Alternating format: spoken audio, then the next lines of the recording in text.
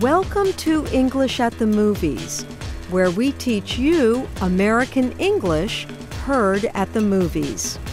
Today's expression is I've lost direction from A Hologram for the King.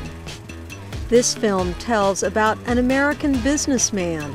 He travels to Saudi Arabia in hopes of selling his company's product to a wealthy ruler. Let's listen for the expression, I've lost direction. Alan, where are you? Why are you not out there? Because nothing is happening. you don't get the king, you're fired. What happened to me? An anxiety attack. You'll be okay. Thank you. I've lost direction, I think. So, what does that saying, I've lost direction, mean? I need a map to get home?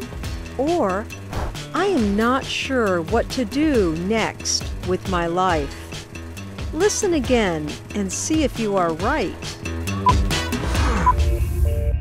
What happened to me? An anxiety attack. You'll be okay. Thank you. I've lost direction, I think. I've lost direction means you are not sure what to do next. It has to do with where you are mentally and emotionally, but not physically.